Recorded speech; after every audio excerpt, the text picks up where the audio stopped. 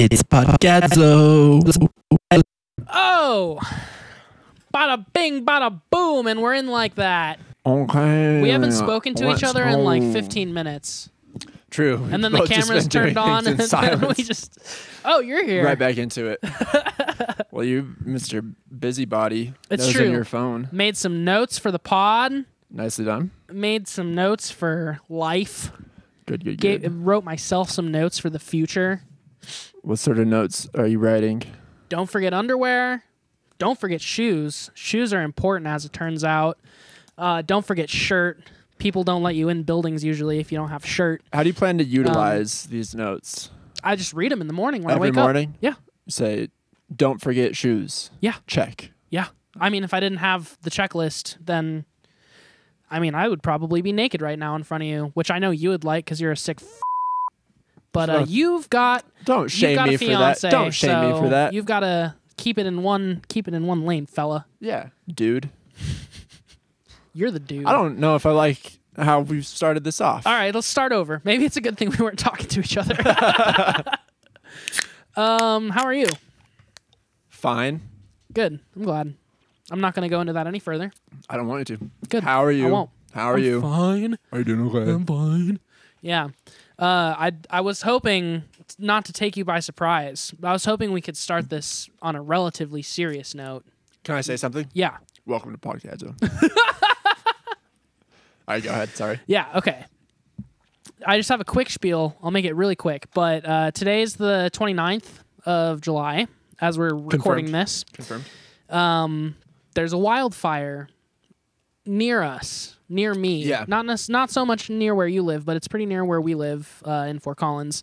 Definitely, if you're in Loveland, you're probably, well, especially if you're on the west side of Loveland, you're probably getting evacuated from your house right now. Um, but yeah, I just wanted to say like, wildfires suck, and everyone who's getting evacuated, we're sorry. Um, anyone who is under mandatory evacuation that says fuck it i'm not leaving. I know it's way too late. By the time you hear this you're probably already going to be dead. But if someone tells you you should leave uh, that you're in the danger zone you should leave and you're in the danger zone. I know your house is the most important thing that you have but that's besides your life. No point in having a house if you're dead. So yeah just do what the professionals tell you and get the fuck out of the way if if uh, they tell you you should. And then just a tangent off of that um, people treat wildfires these days like they're normal. Like where we live in Colorado, we're lucky to not have a fire in a year. It's been what, like one or two since we've had one, a major one. But, uh, uh, yeah, three. Well, there was the fire in Louisville Yeah, um, a couple of Christmases ago. That was horrible and insane. I think that was 2021, 2022. something like that. It, I, it might have been 22, but it, I, it, I think it was 21. But then- no matter what the case, we go through fire periods where we have like a fire a year. Sometimes we get lucky through a summer and we don't have one. But if we don't, then like a neighboring state does, or like our neighbors up to the north, Canada, have a lot of wildfires. Um, and people, yeah, just treat it like it's normal now. Like we should have a shitload of fires all the time. Um, and it's just not normal. Like w- because obviously we have affected the climate with our presence on this globe. That's an undeniable fact. Um, Some deny it. it is undeniable though. if you're denying it and you live in a fire state like Colorado, you're a fucking moron. You're voting against your own interests by continuing to put people in power who deny the fact that the climate is changing. This fire went from like 10 acres to 100 acres in less than an hour and like when we go outside, we can't breathe. So if you think, "Oh, well this fire is a city over, I can't see it, it's not affecting me." It is. It's going to affect your ability to be outside and it's going to take tolls on your health in the future, especially prolonged exposure. So no matter what the case, just be smart. Like vote for people who believe in climate change. Contact your representatives and push them to make it so that people are held accountable for cutting regulations or doing whatever it it doing whatever happens behind the scenes that continues to make the climate worse. We're at a point now where like we can't go back. and we're certainly not going to not have wildfires. You know, it's just inevitable now. This is the world that we live in, but we can still do what we can to not make it like worse going forward. Um, and the fact that fires spread so quickly now is due to the fact that we just don't get enough moisture during the right times of the year, Mm-hmm. and the earth is set up in such a way that someone throws a cigarette butt out the window, it's going to cause a 300 plus acre fire if it lands in the right spot. So that's it. That's all I wanted to say. But it just, it's fucking stupid. People need to wake the fuck up and realize that whether or not it's convenient for their reality, like everyone's life is affected by the choices that people make at the top, especially when they are voting against the interest of the people who live in fire danger areas or, you know, hurricane danger areas or tornado danger areas. Like, it's not just fires, it's everything. So, Did they determine this one was man-made already? You mentioned the throwing no, cigarette. I, d- I, I don't know Yeah. if that, yeah, I'm not trying to speculate on this one particularly, but we've had several fires in Colorado started by a grill that got tipped over or a cigarette that got flicked out the window. So, no matter what the case, it's tragic. Um, and yeah, we just we live in this world now, so I feel like people might as well try to make it the least shitty that they can. Well said. Well said. I felt super sick um, a lot of last week because of the smoke. I went for a run Monday morning just as like the air quality was getting really bad. And I didn't realize it. And then starting like Tuesday afternoon into Wednesday, I thought I was like was getting a really bad cold. Realized Yeah. it was just a smoke inhalation. Yeah, no. So yeah, it's it's wild that um, this is just part of the summer season now, and something people have just kind of learned to accept. It's pretty depressing. it's pretty depressing and it's also something that we've seen coming for a while that we still chose to ignore so i don't know seems like we deserve it but the the planet doesn't deserve it like the forests the wildlife areas all the animals that are affected Mhm. they're just trying to live their fucking life so On a brighter note, have you been watching the Olympics? yes the olympics have been hitting me in my soft spot dude Yeah, it's so nice.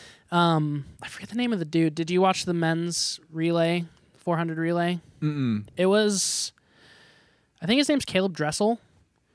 I know his last name's Dressel, but he was the finisher on the men's 400, and, and it was like his eighth.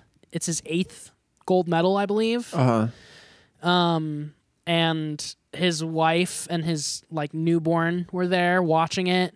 And after he won, he like ran over to them and like grabbed his kid. Is And, this like, swimming? Because I were all thought crying and or track. Uh swimming. Swimming. Okay. Yeah, 400. Yeah, Cool. sorry, I should have specified. No, you're good. I didn't think track had started yet. Uh, 400 relay swimming. Looking it up. But yeah, he grabbed his baby and everyone started crying and Snoop Dogg was there and it was just a beautiful moment. Snoop Dogg's everywhere. Snoop Dogg was literally just chilling like, "Hey, it's the Dressels." And then when he won when he won, the camera like went to his wife in the stands with the baby like watching and they were like cheering and Snoop Dogg was there. And he like goes for a high five. He's like, "Fuck yeah." And she like turns and she's like, "Oh my god, it's, it's fucking Snoop Snoop Dogg. Dogg. Like, what's happening?" That's hilarious. I'll have to Yeah. rewatch. Was this today? Yesterday? I I honestly I, I don't know Oh, when July it actually happened. 27th. Somehow I missed. I think this. I saw it. Yeah, the 27th I think was when I saw it. I watched it. the Olympics like all weekend. How did I miss this? I don't know. I don't know. I literally threw it on uh, Peacockle, Peacockle. and uh, it was like one of the first things I saw when I turned it on that day. So I was right place, right time. I also have been enjoying the Olympics. Been watching a lot. What's Also your been hitting favorite, me in the like- soft spot. What's your favorite like obscure Olympic sport? Uh well, I mountain biking some may consider an obscure one. For sure. I'm a big mountain biker. I I, always forget. watched the uh, women's mountain bike final on Sunday. That was exciting because uh, French racer, I'm forgetting her name, just absolutely dominated. She finished like over three minutes Oh, ahead yeah, of anybody else. Didn't she move from like over halfway back in the pack, like all the way up? No, she was am I thinking dominating of- the whole- Oh, okay. You might be thinking of Rhodes. No, the okay, the Olympic, uh, the the American uh, racer in that finished in third, Oh, and she moved from way back in the pack, and she had a mechanical issue. I think she had a, a flat tire, and still managed to finish in third. God damn. no, second, second. Sorry, she got the silver. okay, So yeah, that was really impressive, especially since Americans tr- traditionally don't do well in, In cycling. cycling. Um, and it's then normally like pretty dominated by the French, right? Or does it kind of Uh, vary? varies, but Europeans, you know, um, like in road cycling, uh, the Tour de France just happened, and a Slovenian dude dominated, followed by a Danish dude dominating. Belgium's always really good at cycling. okay. Um, the men's mountain biking happened this morning, I think, but I didn't watch it, so I'll watch the replay of that. Um, but yeah, it's probably my favorite like obscure sport. I don't. There's I love all of them. Though. Like, there's nothing I'll turn on and be like, I don't want to watch yeah. this. It's like, all super entertaining. I watched surfing for a long time Dude, yesterday. surfing's crazy. Surfing's really cool to me because it has like a natural element to it too. Like it's crazy to have th- that as a competition because they're reliant on like the conditions of the ocean that day. Yeah, the one that I was watching yesterday for men's surfing was like, I forget who I I forget who was competing, but they had to reset the clock because like fit the first 15 minutes went by and there wasn't a single like rideable wave, Mhm. and then like another 15 minutes went by and there was like one single wave that was like good, and the dude from Japan like got up and did it and he got like a great fucking score and then the other dude was just out and it's like well Yeah, there's only one crazy. rideable wave and the other dude had priority because he was already he already had more points at that point Mm. so yeah he like had first priority which is i guess a thing and so i was like well yeah you can get eliminated because you didn't have Yeah, a rideable wave which sucks I know. I like that element of like fate in it though. Like, yeah, man, the gods did not smile smile down upon your run. You're eliminated. yeah some fucked up countries probably think that way Hi, Mazer. You're You on wanna- the pod right now. you now. wanna get the Are you fuck okay down? with being on YouTube? your identity is being leaked right now You're so crazy. Maisie, you have to get down please pusher Um, what's your favorite spanker event? booty Get out of here, Maisie. Um, over my microphone. Sorry. What oh she's literally such a giant what a mess. pansy. um, so obscure wise, I would say, well, again, depends on your opinion. Archery is one of them for me, Archery's dope. and foil is another one for me. Uh, What's foil again? like the fencing. fencing. Okay, that's what I thought it was. Yeah. Um, Yeah, I watched that's, fencing. that sport's insane. Mhm. It's like there's so many fucking rules to that sport. yeah. Yeah, and the fact that you have to move so quickly and think so fast, but also follow all the rules is pretty intense to me. Uh, that's probably it though. And canoeing, which I wouldn't call that an obscure sport, but it's just super fun to watch. That one's cool too because like they build like a water arena for it, Mhm. like A water it's park. yeah, natural river going through an arena. yeah. Yeah, I watched some canoeing on Saturday. I think pretty dope. Um, I was gonna relate the Olympics to our topic today though. How so? because I was watching this weekend, and first, I so I have a pet peeve about this. I don't know if you ever watch like Premier League soccer or anything, but it's become in the last 10, 20 years a tradition to sing the riff to Seven Nation Army yeah.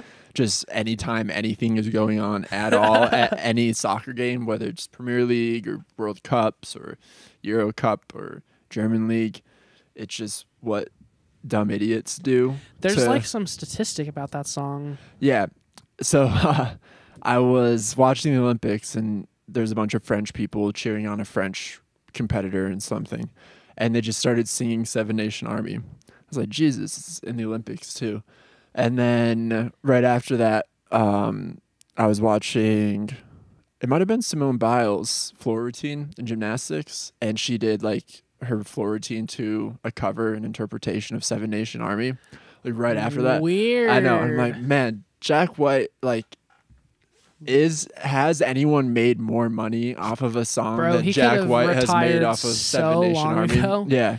the stat I was thinking of, I guess it's not like the stat I was thinking of, but essentially earlier this year, Radio X released this article saying that because of how known it is at sporting events, it's become like one of the most widely known melodies like in human history. Yeah. Like, oh, for sure. It's just what dudes start chanting at any Yeah. time. Like if you watch a Premier League soccer game, almost the entire game, there's someone just singing the riff to Seven Nation Army. And have you ever It's pretty heard wild. uh have you ever heard Jack White talk about the making of that song?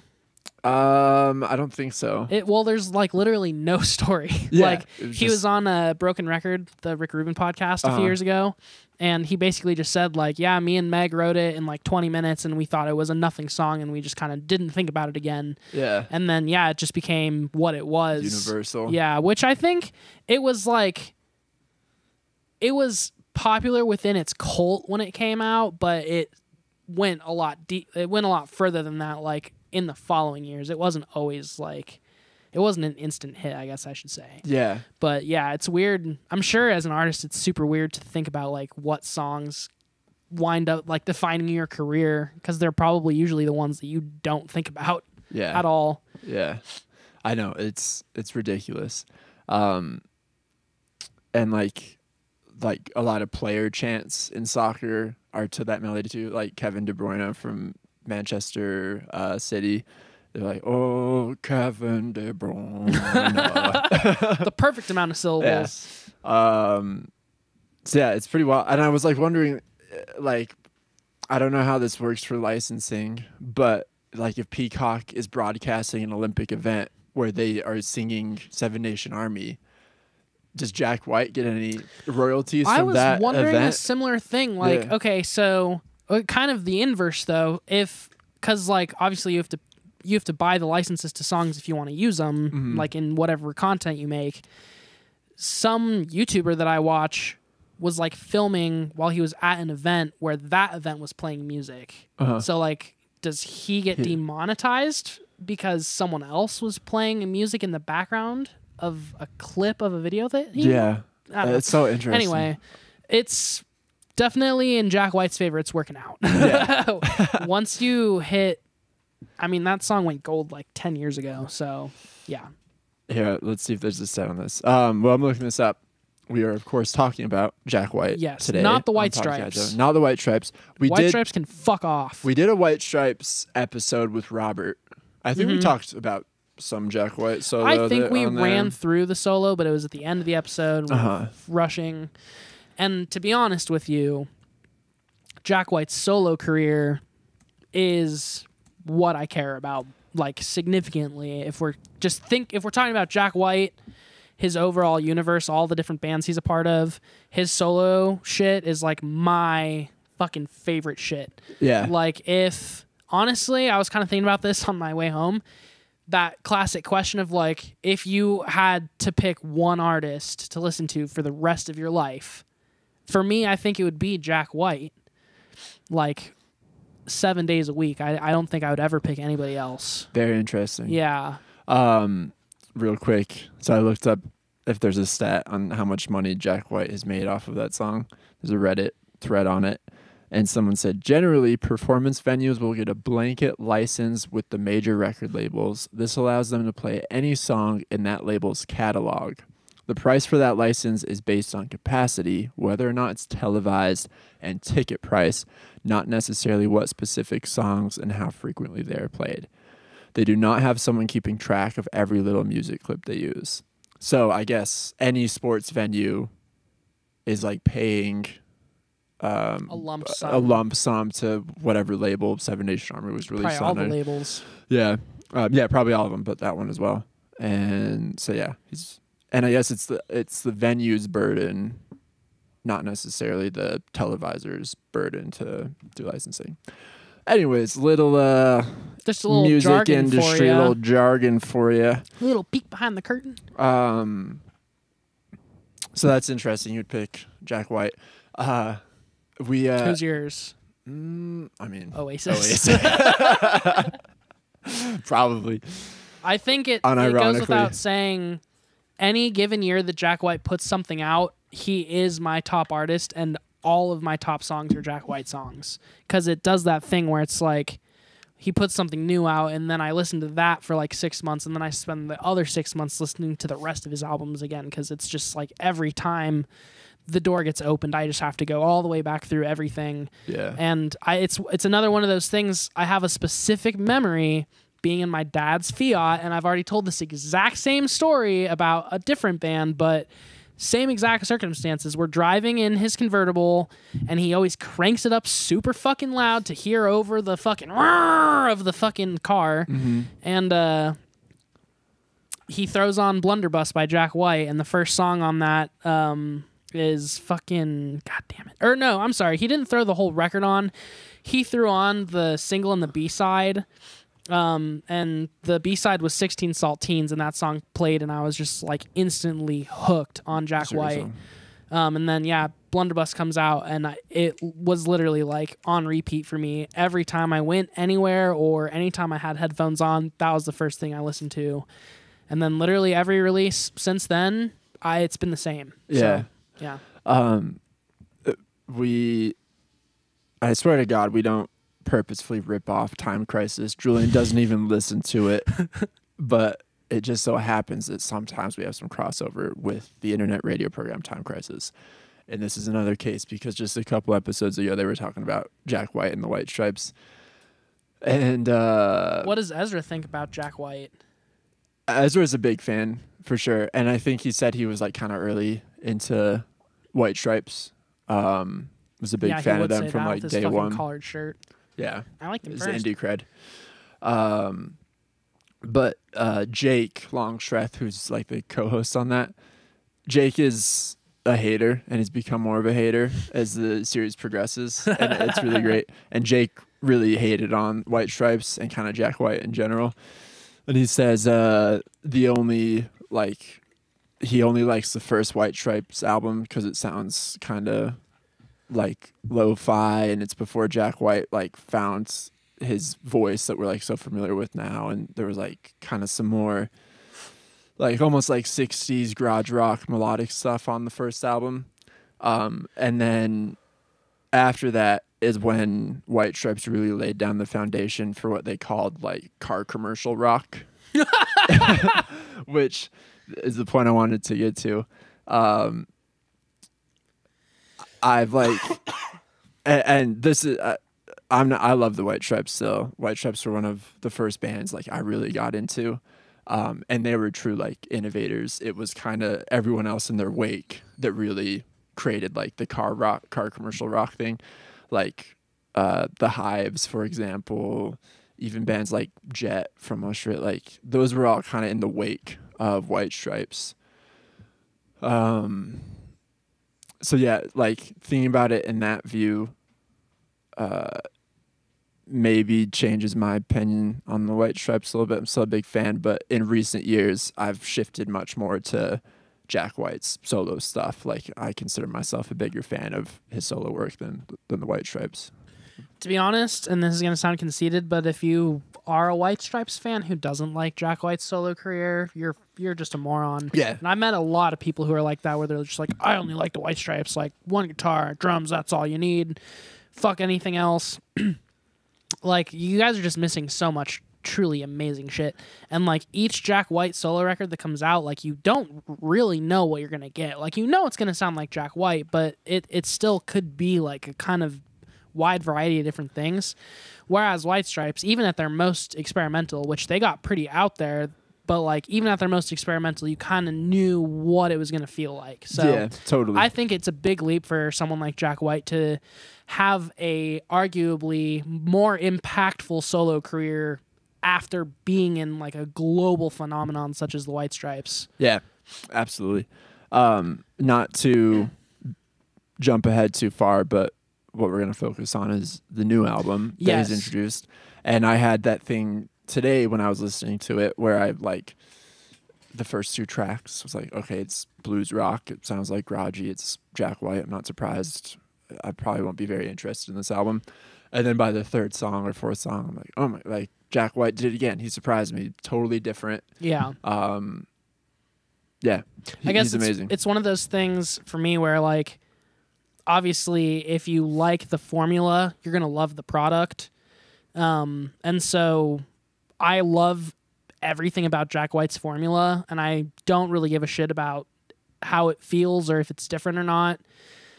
It, it there's just something about his inherent way he plays his instrument and like has a swagger that like as soon as anything new happens i'm just like oh fuck yeah i'm in fully so that was my experience uh, as soon as i heard the first like four seconds of the first song i was like this is gonna be fucking badass. Yeah. and then i was in in way too deep after that. Um, but to just take a step back for one second anyone who doesn't know what happened i think it's kind of a cool backstory as well. I don't remember the day and i should have written it down but it doesn't really matter. I think it was like friday or thursday of last week you told me when I was at the Vampire Weekend concert. That's when you texted me about this the new album. I so think it that was was, like- Saturday. yeah i think that was like the day after it came out maybe Yeah. Um, so yeah, basically, Jack White has some record stores. He's got one in Detroit, one in Nashville, one in London, and people who shopped there on that Friday, and no matter what they bought, they just got an an unlabeled blank test LP slipped into their bag, and there was no. There was no pre-context. There was no like forewarning. Really, I mean, like if you're a deep deep Jack White fan like I am, then there was some some spoilers, but uh essentially the record dropped and it was a complete surprise and people didn't know it was a Jack White record right away. Obviously people had to get home and play it to figure out it was a Jack White record. And then later that day, Jack White and Third Man Records, who's his record label, and like his photography page and everyone who's been in a Jack White band essentially previously, they all posted to their stories at the same time just a picture of the blank LP with a caption that just said "Rip it." Um, so essentially, g- giving people permission to rip it and put it up on the internet. Um, again, fully free. And one other thing to mention is people who subscribe to the Third Man Vault series, which is just like essentially a quarterly vinyl drop. Mm-hmm. You just get records mailed to your house. Everyone who subscribed to that also got the No Name LP on Friday. So a lot of Jack White fans got it. And there was instantly speculation like people were coming up with the song titles almost right away, the album name right away. People were theorizing about what the artwork was going to be. Obviously, people were theori- theorizing about like who produced it, who played on it, all that shit. Um, but yeah, that's pretty much the full backstory of the record itself. Is like we still don't know what the record's called. We finally know what the songs are called because he played a show the other night and they were selling the No Name record and it has a sticker on it now that has all the, the song titles. But yeah, the record still has no name. It does have artwork. And uh, there's no tour announced, but he is playing some one off shows uh, with Patrick Keeler, who's the drummer of the Raconteurs, uh, and then Dominic Davis, who's his regular bassist. And then I don't honestly know the keyboard player. It's someone who's never played with Jack White before on the road, so that'll be interesting. Um, but what I can say about the record itself is definitely have drums from Daru Jones on multiple tracks. We have drums from Carla Azar on multiple tracks. Um, and it seems like Patrick Keeler probably played drums on at least a couple of the tracks too. Um, and then Dominic Davis bass all the way through, I believe. Um, and then that keyboardist, I believe, helped with production and keyboarding.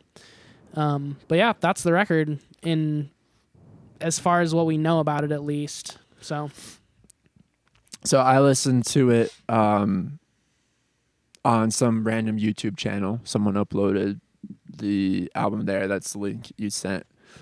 And uh, so I was streaming it on YouTube in my car and even listening that way. I love how the, the record sounds. it another sounds great point. Yeah, Yeah. I was gonna say that, and I completely forgot. The vinyl rip that I heard on YouTube also was like, you can tell it's a vinyl rip Uh-huh. in spots, but through and through, like it sounds fucking great. Yeah. So the the actual record, whenever it comes out, and it's not a vinyl rip that's then compressed and uploaded to the internet and then compressed again um, when it's streamed. So I'm glad you have all the details on the release. I didn't know he was doing that, dropping it in bags at Third Man Records. That's super dope. Yeah. I know he was encouraging people to rip it. And I is- got the insider scoop on who tracked it because I literally just commented on one of Dom- Dominic Davis's Instagram posts and I was like, Oh, yeah? Dominic, who tracked on this record? and he replied. Mhm. Oh, that's dope. Yeah. um, and that's the other cool thing about it is, you know, for people who are really in the Jack White universe, like there's been clues that this is happening for a while and they've given us a lot of context as far as like who made the record and stuff like that. So Jack White's been posting like 4 second sound bites for a couple months now of just different songs. And then he's also been just posting random pictures and stuff. Um, and so it, what I think, and it seems like what the internet also thinks about the artwork is that it's taken from a photo of Mount Rushmore that he t- posted on Instagram a few months ago. Yeah, I just saw that um about the, who's going to clean up the rubble. yeah, Um, which is a cool, cool line. Yeah. Um, and then yeah, like everyone who's playing the shows with him started posting like pictures of their instruments like a day before shows were announced and stuff. So it's been a very cryptic release. It's also been I think super fucking refreshing to have like a surprise release that's just free. Yeah. And if you want it, you have to do the work to find it. Um, I, I, I think that's super cool. Some people on the internet have said it's kind of stupid, a little bit gimmicky, but I think it's great. Like, if you want to listen to it, a YouTube search isn't really any harder than searching something on Spotify. Um, and you can still download stuff if you have YouTube Premium, so it's all good. And uh, yeah, I think overall, without spoiling it too much, I, I'm fucking all about this record. Like, it is a return to form in the sense that it's like garage rock and just super energetic, loud, distorted, but it's like the it's like Jack's version of garage rock, like Yeah. the new Jack. It's got like full bass, obviously there's some keys. It feels like pretty heavy power trio vibes most of the time, but there's definitely like a touch of keyboards in obviously very crucial spots on the record. Um, and it's a relatively short record. It's only 41 minutes Mhm. or like 45 minutes or something like that. 13 tracks. But yeah, it's got punchy. a decent amount of songs, and some of the sh- songs are just like short little bangers. Yeah. Um, so yeah, I mean, I guess as far as ranking it or like picking how how it sticks out among the other records, like it's a little bit too early for me to really say. But I think the main thing for me that's a big surprise is like every record in his solo career, I feel like has been him trying to get further and further away from the OG formula of the garage rock thing.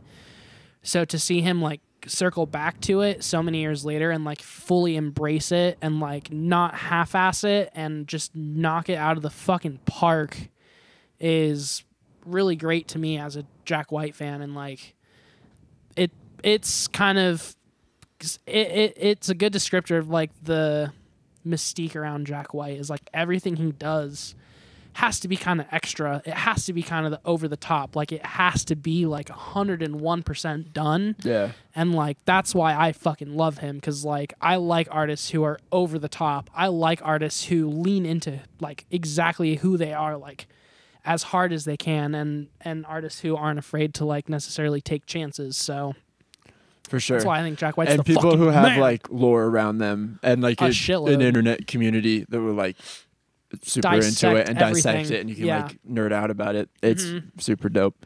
Um I still need to listen to the full album. I think I got through 7 tracks so far. Um but my impression so far some mega guitar riffs, some of his best guitar work I think in a while, which Yeah. is a big statement. Because- I think I believe it. Yeah, I mean f- when I heard Fear the Dawn, which was his last like heavy record, Uh huh.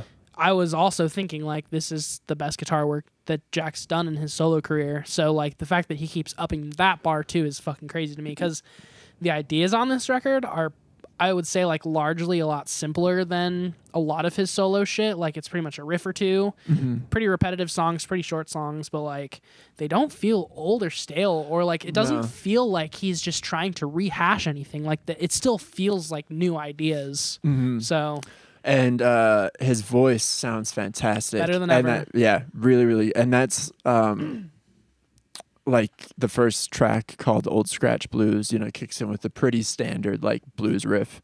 Um, cool riff. Not hating on it, but then his voice comes in, and, and the production of his voice and just the way his voice sounds. It's a very cool contrast between the grogginess of it. You know, it still sounds groggy overall, but Mhm. like just how well produced and how clean his vocals are, yeah. it hits really hard. Yeah. And he also throws in vocal layers only in like I would say pretty crucial moments of songs. Like it's pretty much across the board like one vocal track maybe doubled or stereo, but then like there's moments where there's a harmony, just like a one or two part harmony and like it just elevates it so much and it reminds me that like you know, Jack White has always kind of like said that he's not really a singer but he definitely has like the strongest frontman persona of like any of the musicians that I fuck with, besides maybe like Thom Yorke. um, so yeah, I, I think it's just it's a super well balanced record. Um, yeah, so Old Scratch Blues, first track, definitely like a, a bluesy song, but it has it has that kind of swagger that I was talking about, where it's just like slow, and it has almost a swing to it, but it's still pretty straight. Um, and then it opens up into like a fast rocking huge section and everything's just like distorted as fuck. And then bless yourself i think bless yourself is cool because it opens up with like a pretty out of time feeling guitar and the vocals seem super random but then everything lines up when the drums come in. And i want to note a lot of the drum performances on this record are very meg white-esque it's just like Yeah. kick on one and three snare on two True. and four and nothing else um, there's a couple songs where I feel like I don't necessarily know who played the drums, if it was Jack White or if it was Daru Jones. I try to listen to like how the drums actually sound because it like Daru Jones drums they sound super different from everybody else's. He plays like weird size shells. He tunes his drums weird, so it's pretty easy to tell. but overall, like the simplicity of those songs makes me feel like maybe Daru just decided, "Fuck it, I'm going full Meg White," I- or if the those are songs that Jack White played drums on. Um, like I said, I've only listened to a YouTube rip of the album, so I can't comment too much on the sonics of it. But from listening to the YouTube rip in the car, it sounds like compared to other albums, the drums are pretty compressed, not much stereo imaging, like pretty just basic mono, you know. Yeah. Uh huh. I would So- say that as well. There's a there's like one or two tracks where the characteristics of the drums are a bit more personified, but Yeah. it's not like obvious at first listen, I would say, unless you're really listening for it. Like me, because if Daru Jones plays on something, like I feel like I need to know it, or else I will maybe spontaneously combust. um, and then track three, that's how I'm feeling, which is just again a huge open rock song, like rock pop almost, verse chorus verse chorus, super catchy hooks, uh, driving bass, four on the floor drums, and then uh, track four is called "It's Rough on Rats," and then parent- parenthetical, if you're asking me, and that song I wanted to bring up because that's a slide guitar song, Mm-hmm. which I don't think we've had a slide guitar song since the White Stripes. I definitely could be wrong. Not in his solo career, that I know for a fact. Really? Not a single slide guitar song on Blunderbuss, Lazaretto, or Boarding. I was gonna say I thought Lazaretto, but you know the Nope. discography way more than I do, Fuck so I'm not gonna argue with you on that one. Yeah, and it's weird because I mean that guitar, that slide guitar that he plays, like. There, I don't think there's another guitar that sounds like that. That's why he like uses that guitar all the time for all of it. But you know it like as soon as you hear it, you're just like, oh yeah, that's the Jack White slide guitar. Mhm. Um, and then Archbishop Harold Holmes is track five, which I think that song is pretty interesting because it's like it seems like he's reading a letter that someone else wrote. Presumably, the person that wrote the letter was Archbishop Harold Holmes. Um, but yeah, it's just him like talking. It's like a talk. Oh, okay, I didn't know that was an of. actual letter. Yeah, that song's dope. Yeah. And then track six, Bombing Out. That song's like fast paced, Bombing out is where I stopped listening. Cool. Uh huh. Yeah, fast paced, three piece vibes like bass guitar, drums.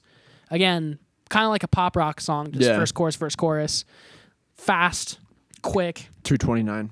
Two minutes twenty nine seconds. very quick song. hmm And then track seven is What's the Rumpus, which is kind of back into like the Jack White uh, swagger, like got that groove, almost the swing feel to it. Um, but it opens up into a chorus that I would say is like the most like pop rock chorus that he's done in a minute, where it's like the the lyrics are stacked or the vocals are stacked, I should say.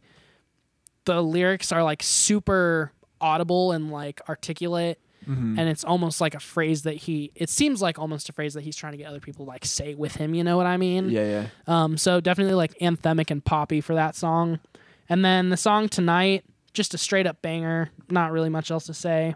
The song underground again slide guitar song so two on the record. Sorry for the spoiler um, but yeah, Underground rips, and I that's one of the songs where I'm like, I know for a fact Daru Jones played drums on it, so it just kind of makes me like it that much more. But it's got a weird intro, weird drum part, kind of frantic song structure, but overall pretty straightforward.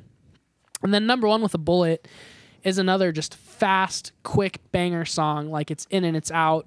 Super catchy, super hooky again. Seems like a pop rock song. Very Mhm. much in the White Stripes world of like, we're going to repeat a phrase that people will internalize type shit.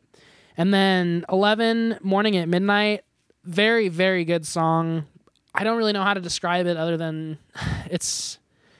It reminds me a fair bit of like the more rockin' stuff on uh, Blunderbuss with just like pretty straight up, not super fucked with guitar. Like it's distorted, but it's not crazy distorted. It's not super fuzzed out. Um, and then track 12, Missionary, kind of the same thing again. Quick, guitar heavy, reminds me a lot of the Blunderbuss type rock songs. And then track 13 is Terminal Arch Enemy Endling, which that song I would say off the top of my head right now um, might be like my favorite Jack White closer Mm. Of any of his solo records. It's super chilling and it starts out super open and kind of desolate. And again, with the swagger, obviously. Feels like Carla Azar playing drums on this last song, especially like the fills seem like Carla Azar fills. Um, but it opens up in the chorus and gets super rocking, super loud, super distorted, and then it goes back down to kind of being quiet. And then there's another chorus, and then it kind of peters out and starts, or it ends the way it started, which I think is super cool. Um, and yeah, that's the whole fucking record, baby. I'm excited to listen to it in its entirety with some headphones on Yes. tonight. Um, but yeah, crazy to have a new Jack White album. I definitely did not think there was going to be a Jack White record this year.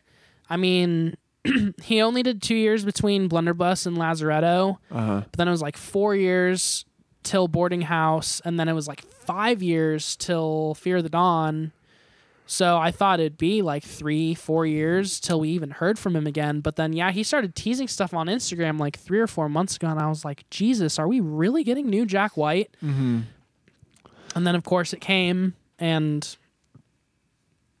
blew the internet up, or at least the part of the internet that gives a shit about Jack White which off the heels of like a double release like Fear of the Dawn entering Heaven Alive and touring that record as much as he did and then like doing one-off shows for entering Heaven Alive and all that crap like you'd think he'd want to just take a couple years off but it almost seems like maybe if I could theorize he's been keeping some garagey tunes like in the back catalog and maybe working on them slowly over time till he had enough for at least a solid release. Because it it feels like a bit of a mixtape in some ways. And daru jones actually called it he said mixtape vibes in a video on instagram. Oh, nice. which also confirmed that he played on it. Yeah. um he yeah he, he said it was mixtape vibes when he was recording it. So i definitely get that like there's not a through line necessarily other than it's like political unrest i would say like he's pissed off about the state of the world which is fair Um, but the through lines of like entering heaven alive and fear the dawn, where it's like this record is a concept through and through, and like the lyrics reference other songs. There's a universe built up within the entire record, and then like entering heaven alive is the same thing. To have this be just like these songs are just out and they are what they are, like it's a super different approach and I feel like especially since Jack White's solo career has been so focused on what seems to be like perfectionism, like everything has to be within the universe of that specific record. It's it it's refreshing to just have something just, that's just fucking fun to listen to and loud and kind of pointless, but not really like stupid. You know what I mean? Yeah, yeah. Um, well, hell yeah, dude. I don't have much more to say about the new album, just because I it's new for me. I Haven't even listened to the whole thing. All right, baby. Let's backtrack then. Backtrack. So, for those who are not familiar with the Jack White universe, before this no name record that he just put out, there was essentially like a double release back in 2022. The records came out a few months from each other. So, Entering Heaven Alive was July 22nd, and Fear the Dawn was April 8th. So, yeah, a few months in between. Um, but these records came out the same year. The whole point of these records was Fear the Dawn is like electric, heavy, loud, very produced, very layered, lots of um I guess just moving parts for lack of a better term. And then Entering Heaven Alive was like the complete opposite. It was like recorded fully acoustically, fully live. There was no well, I mean there's extra shit added obviously cuz everyone needs to produce a record, but there's no like clever layering or chopping or post production really. It's just a straight through kind of record. Um and I guess these records are good to me because they kind of separate the duality of Jack White's solo career, like leading up to this point. Because on Blunderbuss, you have like the heavy, the heavy, the rock songs, and then you have like the acoustic jams where it's like there's a fiddle and a piano and it's super quiet. Um, and then Lazaretto is pretty much the same fucking thing. And then Boarding House Reach is a bit different, but this is the first record or the first pair of records where he really separates the ideas and like gives each one full attention.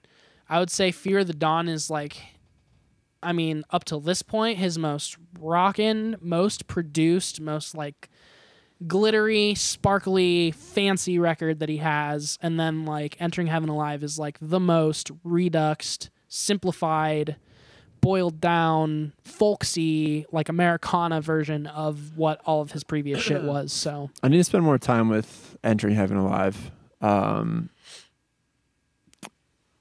Fear of the Dawn, I think because it came out first, because I was into it, just totally overshadowed Entering Heaven Alive for me. So I, I Definitely. like barely listened to that record. and it was kind of the same for me because to be honest this won't surprise anybody but the fear like the the loud jack white stuff the rockin' shit is generally what i like. Yeah. so that record to me was just like the perfect jack white record. And then entering heaven alive was just kind of like oh it's it exists and it's good.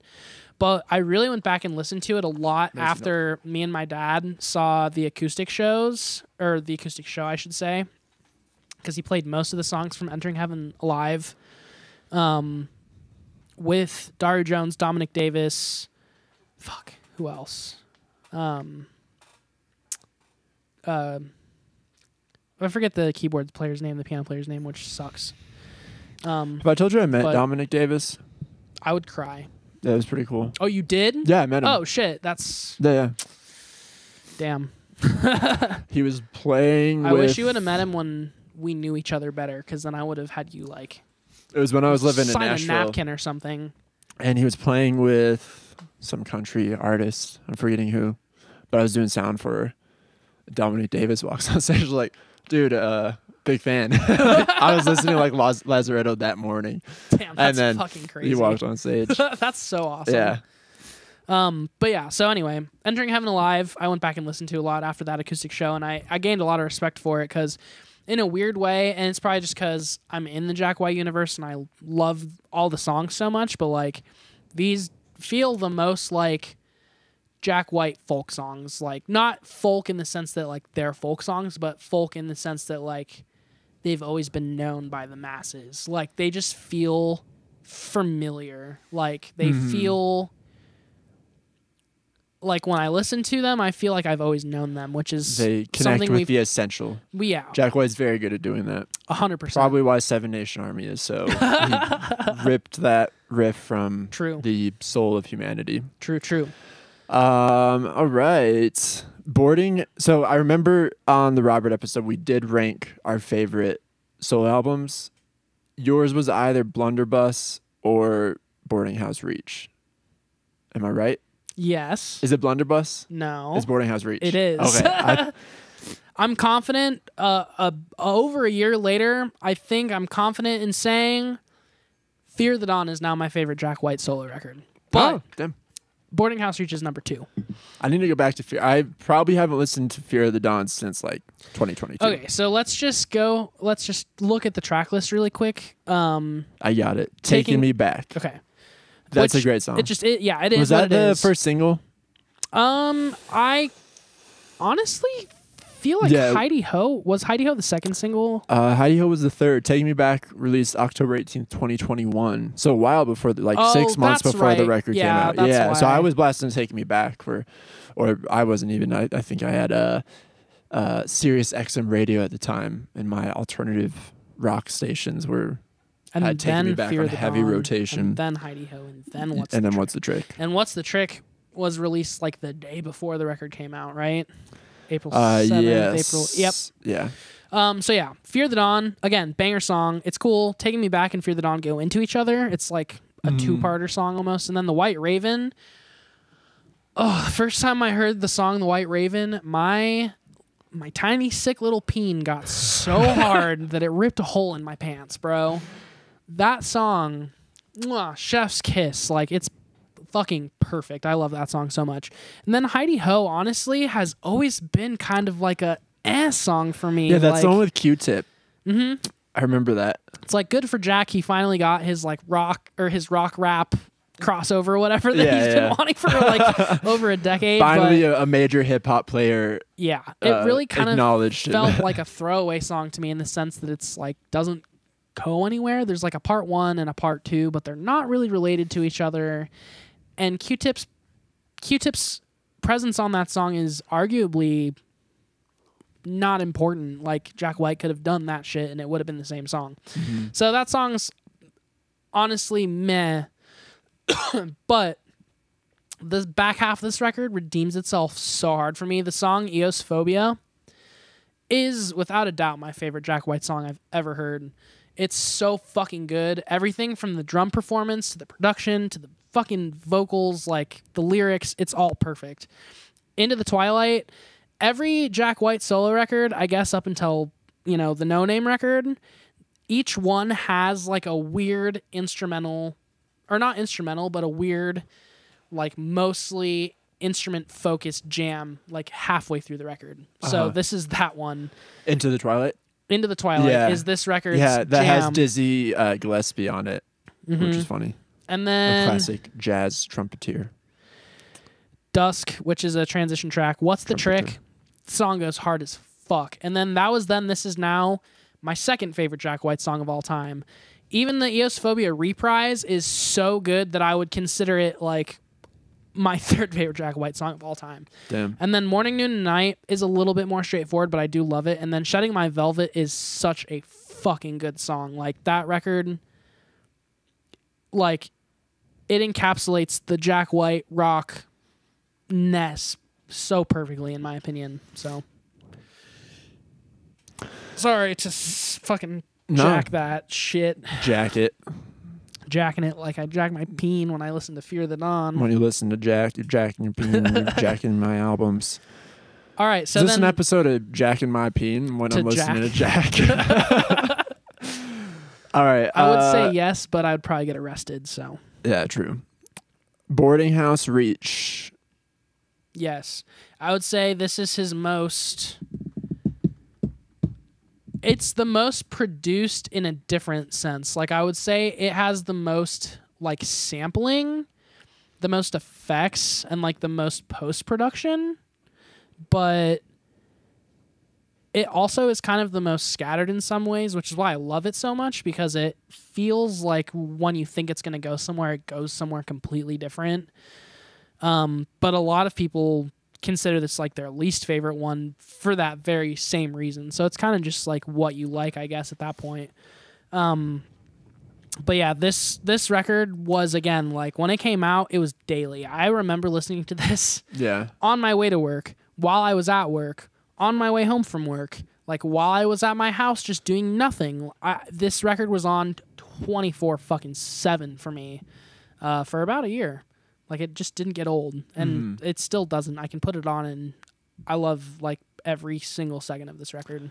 I probably mentioned it the the last Jack episode we did, but uh, the song "Connected by Love" was that way for me. Like I, I d- definitely spent a lot of time with the album, but um, I just remember showing a bunch of people "Connected by Love" and having it on in the car all the time. Um, great song, great album. Same with fucking Ice Station Zebra for me. I showed like Yeah, every yeah, person I know that fucking song. I was just Uh-huh. like, have you ever heard an intro like this? Like ever? Have you ever heard anything like this? And I remember um, before Boarding House Reach came out, he did a teaser which was called Servings and Portions from My Boarding House Reach or something like that. Um, and it was just like four seconds of each song, like just put together into one track. Yeah, And I remember when the Ice Station Zebra segment came on, I was like, whatever song that is, that. I need that in my life. yeah, And then, yeah, when that song came out, I was just like, this song is so fucking brilliant. And then I feel the same way about the song Respect Commander. Like, that song, I say this a lot about multiple artists, but the song Respect Commander at one point was like my go-to like favorite song like if someone said like what's your favorite song i would be like it's respect commander by jack white like God, it's so powerful and good, and just like makes me feel dirty when I listen to it. You don't need any more of that though. Feeling dirty. no, I, if anything, That's- I need that's to inherent. take a bath. um. All right. So boarding house reach was 2018. and he played uh, "Why Walk a Dog" the other night at that show that he played for the first time since 2018. Wow. So I think there might be a little bit of a the boarding house reach the revisit. Nashville show. That one. Mhm. Okay. Yeah. Yeah. Very cool. Yes, sir. Um. So bef- the the record that came out before boarding house reach was Lazaretto, which was the big one for me. That was my favorite Jack White solo album. Probably still is. Spent the most time with it. Um. And a lot of that was timing, just like 2014. Was ready for it. I bought that album at Third Man in Nashville. And the cool thing about that album when it came out was that it was the super LP. Uh huh. So it had like a bunch of shit that had specifically never been done to a production record before. It had holographs. It played reverse on I think side A is reverse or side B is reverse. I can't remember which. Yeah, the inside label There's a sticker song. a sticker song. Um, yeah, a lot of cool. Easter Whatever side I side A has to be the the inside outside Mhm. because side B when you drop the needle there's Right. two different channels. Yes. So the needle can either fall into an acoustic only channel or it can fall into the regular Uh-huh. song start channel. And then yeah, side B is definitely the one because that also when you get to the end just has the repeating feedback thing. Yeah. So you can leave that on all Forever. day, which which I have. It's a great feature, and Yeah. also since since Lazaretto came out, holographic records have become I wouldn't say a standard, but a lot of artists have Become a thing. replicated it. yeah. And same with the multiple channel drop in. Uh-huh. Artists have done that. And then I want to say uh well fuck never mind. I'm not going to say it cuz I don't want to be an idiot, but Say it. people have taken cues from other aspects of that as well. Okay, well, I want to say there's been other records that have come out where the infinite loop is on the last like uh, groove of the record. Uh-huh. So I feel like people have stolen that from him too. Maybe, maybe not though. Um, but yeah, so the Super LP was super cool, and also when Lazaretto came out, they did a big promo for it where they recorded a single live in the Blue Room in Nashville Yeah, that's and right. then had it pressed to vinyl the same day and it was on the sales floor like four hours after it was recorded Mhm. so that was another big one And that's like just as when Third Man was getting started. hmm when it was really taking off Yeah. and uh jack white auctioned off like the moped scooter that drove the acetate from the blue room to the pressing plant so someone owns so that crazy. now the lore. the lore The lore. Um, but yeah, I just I love the record Lazaretto. why don't you Uh, take us through this one big boy Yeah. So uh, it starts with three women. Uh, I got three women. Uh, red, blonde, and brunette. which is a cover A fun rocker. Yeah, it is a cover. Who does the original of that? like blind willie nelson yeah, it's like it's a uh, like old blues standard sort of thing. Um, great sounding song. Has some very cool fiddle on that one. Great fiddle all through the album, which is a big draw for me too. Really cool instrumentation. Then there's Lazaretto, which um, this might be the most basic thing I could say, but Lazaretto might just be my favorite Jack White song. Dude, it's, It's- fucking it's amazing. great. Definitely my favorite bass part. It's the first of, thing I uh, learned how to play on bass. Nice. I was like, oh yeah, first thing, Lazaretto. yeah. um, it's pretty easy to play on bass. yeah, great music video too, which is a big thing for me. Uh, Temporary Ground kind of slows down there. Temporary Ground's great song. Would You Fight for My Love and Highball Stepper. So tracks four and five. I think those are both singles after Lazaretto. Um, Highball Stepper was the first single. Yeah. Was Lazaretto the second? or the- Lazaretto was the second, Okay. and Would You That's Fight right. is the third. Would You Fight for My Love? Yeah. It's one Um, of the few records where I can say that f- for certainty. yes. the video for Would You Fight for My Love is pretty good too. Have you ever seen it? Yeah, I have. Good video. Uh, I think that side A. I think side B opens with just one drink, Yes, sir. and then yeah, just one drink is good song too.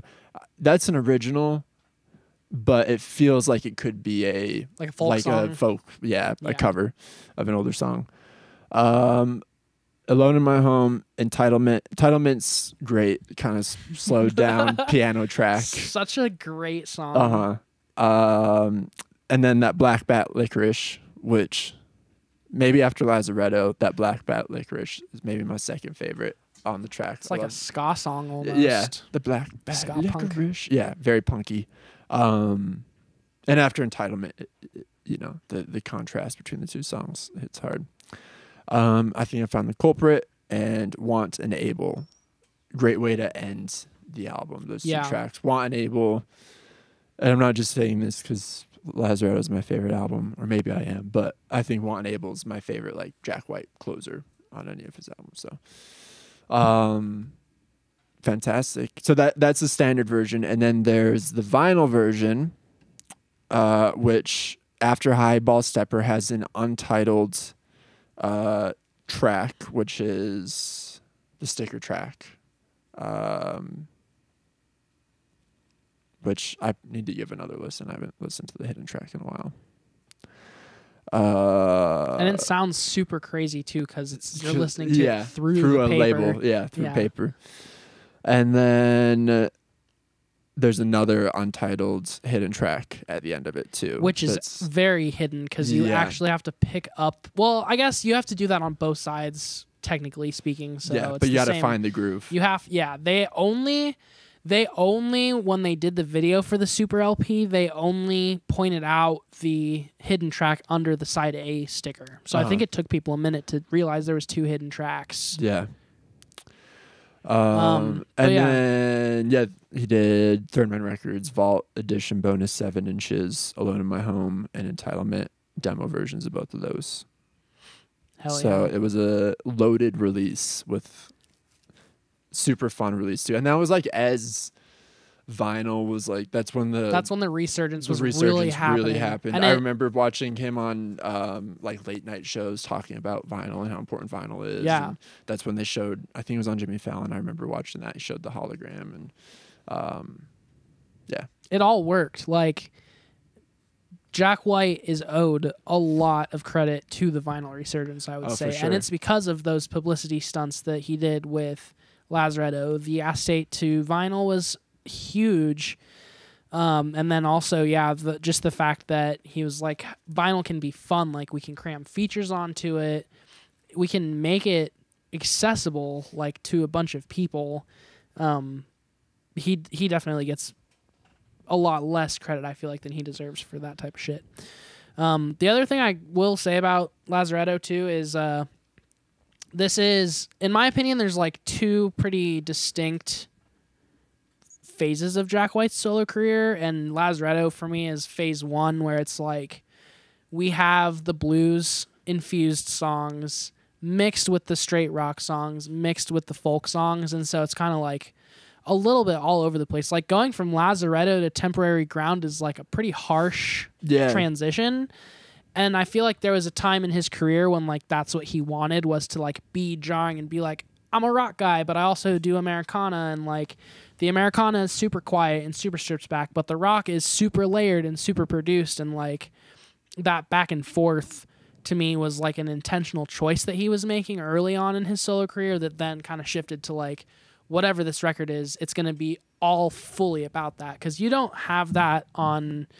Like, there's definitely blues influence on Boarding House Reach, but it's not as drastically, you know, just segue from one song to another. that's a very good point. Um, so yeah, that's one thing I wanted to say, and then the other thing I wanted to say about Phase One, Jack White, is the fact that his studio musicians, I would say, were playing to his songs a lot more, and the sound was a lot more universalized. So like on Lazaretto, like you have Daru Jones playing drums on a song like that, Black Bat Licorice, which you know, there's a little bit of a distinction in the drum sound there, but then you have Carla Azar playing drums on a song like I don't know, uh, Highball Stepper, and it's like the same exact drum sound, pretty much the same exact energy, like not too much distinction in personality there unless you're really paying attention. But then on a record like Fear the Dawn, like kind of like I was saying earlier, if Daru Jones is playing drums on a song, like he's using his actual drums and like you can tell that it's like a different drum set. Mm-hmm. And you can tell Jack White's also saying to him like play what you want to play for this, like get weird for me and like encouraging the personality to show through a lot more. Yeah, So I would say like Lazaretto in phase one is like a Jack White record, but then like a Fear of the Dawn record in like his phase two is like it feels like Daru Jones plus Jack White plus Dominic Davis. Like everyone has a lot more of a say creatively. So I just think that's a really cool duality to it. Like you can have both and they're both executed to perfection. very well said, and a very important point. And to expand on that, the tour after this record um, picked up a lot of attention. Was cool and innovative because he had two different That was the bands. Blunderbuss tour. That was Blunderbuss. Yes. Oh, okay. I'm mixing it up.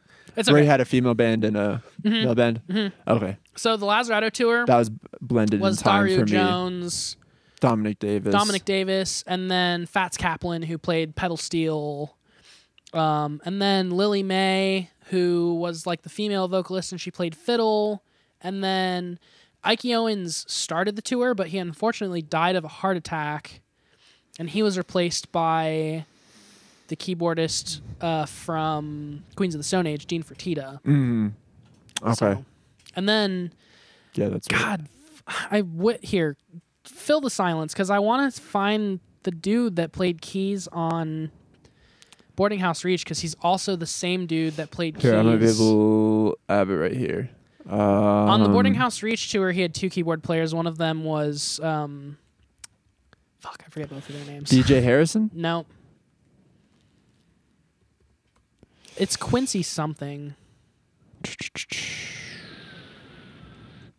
Neil Evans. Neil Evans was on Boarding Quincy House. McCrary. Quincy McCrary, yeah. Yeah. And so Quincy McCrary, on the boarding house reach tour and on Fear the Dawn tour was like the dude that I watched m- more than anyone besides Daru Jones, um, because like he's he's literally so fucking good. And like when we saw the acoustic show in Santa Fe, pretty much every solo was him, just a, an upright piano, and like I mean he's he's just he's so good. So That's definitely wanted to shout him out. Um, all right. Well, let's talk blunderbuss before we wrap this shit up because I. You got a tinkle? Uh, no, I was saying I'm embarrassed. I fucked up the Oh, information for the Lazaretto tour. So let's just No, get it's off okay. of it. It's supposed to be my favorite album. I don't even fucking know anything about it. well, you weren't there, so you wouldn't know. Yeah, I wasn't there. I think Jack White's the only musician where I've never missed a tour. He is one of like the big ones who I'm a big fan of who I haven't seen. Very We're going to the regrettably. one. Yeah, I'd love to. He's the best live musician I've ever seen. His band is Yeah. the best live band I've ever seen. The amount of audibles they call. So, for anyone that doesn't know, Jack White doesn't use a set list. He calls the songs in the moment while they're on stage. So the set's completely different every single night. You never know what you're going to get. The band literally doesn't know what they're going to get either. Half the time, Jack White will lead into a song with an improvised jam, and the band literally just follows him until he calls the song, and then they go into the song. Like they play stuff on one night that they will literally never ever play again. So like you get a completely different experience every single time you go to a Jack White show, which is just next level for me for a live musician. The other thing is I was listening to obviously a Daru Jones episode on a podcast and uh, he was saying for the Fear the Dawn tour that they did, there was like 250 plus songs in the back catalog. So when they sign on to the tour, they get a binder that's just full of the tablature or whatever the the sheets for each song that they're expected to learn, and it's like every song in the White Stripes catalog, most of the Raconteurs, most of the Dead Weather, and then a shitload of covers that you know they might never play, um, and then of course everything from the Jack White solo career because you know the other night he called uh, "Why Walk a Dog." Uh huh. and he hasn't played that since 2018. Like, you just have to be able to know it at a moment's notice. So I say his live band is the best live band in the world for that reason. Specifically, the live band of Daru Jones, Dominic Davis, and uh, Quincy McCrary. It was just like next level musicianship. I've never seen anything like it in my life. Even like Sumac, where like their eyes are closed. For t- like the entire set, all their eyes are closed and like they're still perfectly in sync with each other like somehow the Jack White band just edges that out slightly of being like just so locked in because they don't know where they're going. They don't know what's going to happen next. And yet you could never tell that from watching a show. Yeah. Yeah. That's yeah, amazing.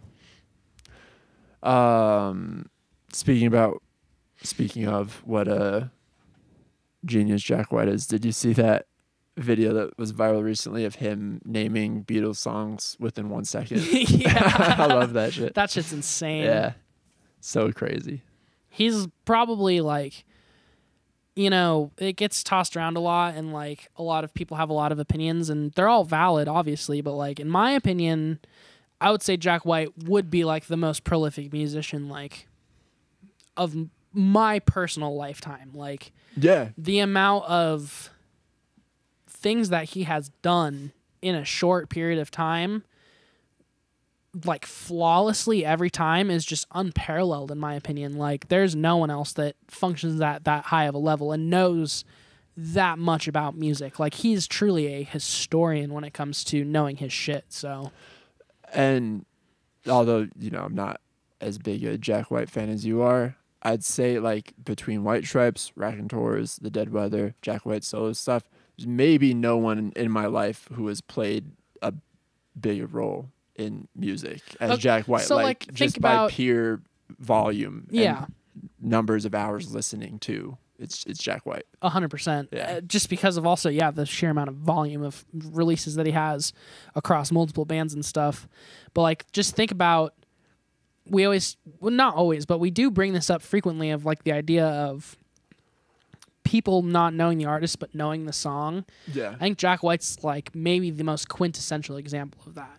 Because like a lot of people, if you ask them like if you know who Jack White is, they'd be like, I have no idea who that is. Yeah. And you play three seconds of Seven Nation Army, and they're like, Oh, oh. that. Yeah. Or um,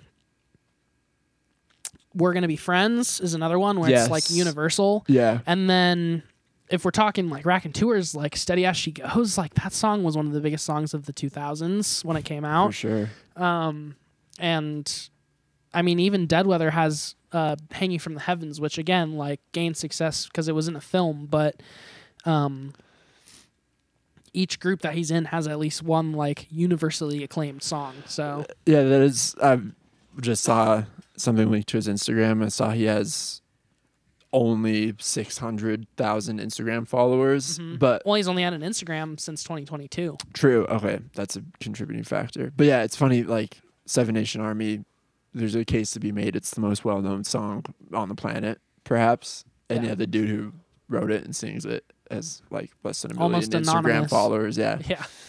It's insane. And it, it's insane in a good way. Like, I don't want to sound like a gatekeeper by any means, but like, you don't want to see the thing that you love get like tainted by whatever notoriety, fame, success. And Jack White is one of, I think it's like Jack White, Thom Yorke, Flea. Those are like three dudes where I could say, like, no matter what, they're always going to be exactly the same. They're always going to be about exactly the same shit. Flea is funny to throw in there. Yeah. but I, I, I, I agree.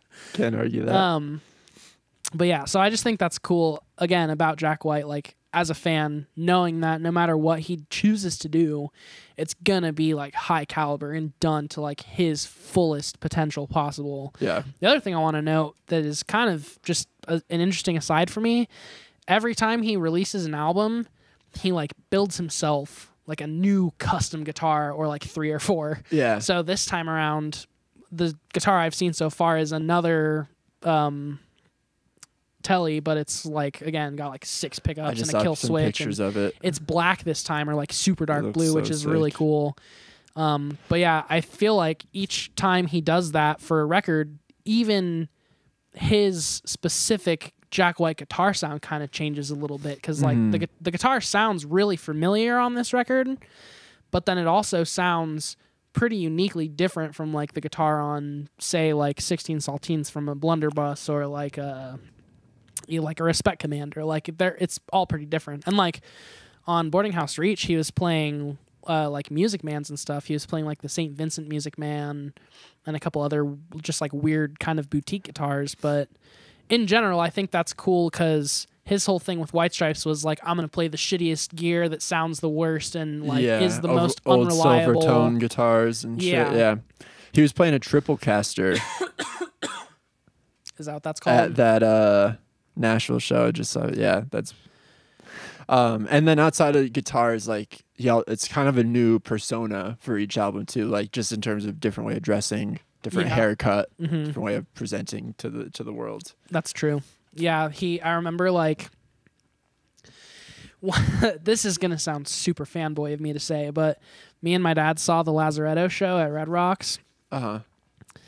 And it was when he'd got his haircut when it was like super short on the sides and very long on the top, and he had it like completely mopped back. Uh-huh. Um, he came out on stage. And I was just like, "Holy fuck!" Like he got a haircut because he Yeah. up till that point, Jack White had always had the exact same Long hair, middle part. Yeah, Mhm. so then that was a whole thing, and then the hair was back for boarding house, and then it was gone for Fear of the Dawn, and his hair was blue for Fear of the Dawn, and now it's like long and it's black again. So I feel like he definitely uses that definitely to like characterize where he is for each album. Um, one other fun fact about when we saw the Lazaretto show at Red Rocks, it had been raining a lot. It was raining when they came on stage like two songs in, he jumped off his wedge and rolled his ankle. Oh shit. So he Wait, at Red Rocks? At Red Rocks. Ooh. So he took off his boot and played the rest of the show barefoot in the fucking rain Damn. with a fucking baseball sized purple ankle. Ooh. And they posted a picture of his ankle on Instagram the next day and I was like, "Bro, like I couldn't even stand let alone like jump and run and do all the shit he was doing at that show." So, Respect. craftsman. What a badass. Um all right, bro. Great episode. Hell yeah. This is one thing that I could talk about forever. Definitely. Well, uh, I th- I would love to do a Raconteurs, and I think we probably Definitely. talked about this, like just do a spin-off bands uh, sewed in the future. Um, so yeah, that will come one day. Yeah.